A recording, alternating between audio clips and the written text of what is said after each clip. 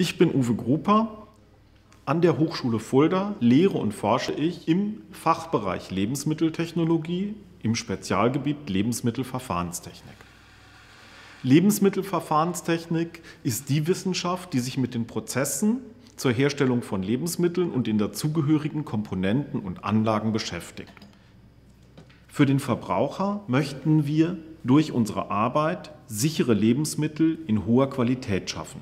Der Produzent der Lebensmittel profitiert von der Arbeit durch ressourcenschonende Produktion in möglichst hoher Güte. In einem unserer Projekte erfassen wir Parameter, um mit der besten Maschine den optimalen Kaffee herzustellen. Davon profitiert das Land Hessen und der Bürger durch eine bestmögliche Ausbildung und eine hohe Qualität in der Lehre an unseren Hochschulen.